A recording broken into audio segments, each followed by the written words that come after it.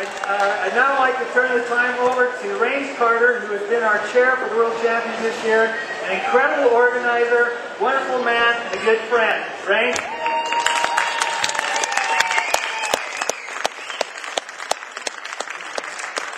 Thank you again. My name is Rains Carter. I was asked to chair this year's event. It's been an honor and a privilege. I hope everybody enjoyed it. I tried to do it to the best of my ability. Um, I hope that it continues to grow and continues to improve help everybody, I'm sure. First thing I'd like to do as this year's chair is to thank those who made IDOS what it is, the International Dutch Oven Society. I apologize for using my laptop. I'm only using it because I want to make sure I don't forget any the founder of IDOS, Dick Michaud, Ross Conlon, the next president,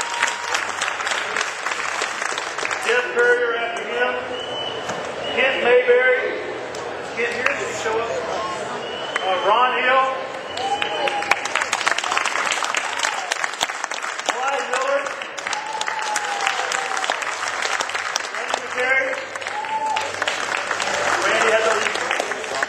This year's current IDOT president, Ken Happel.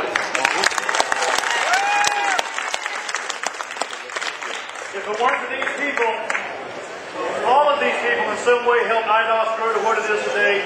All of these people helped the World Championship Cook-Off become what it is today. It's because of them that we are what we are, and I owe my gratitude to them for everything that they've done.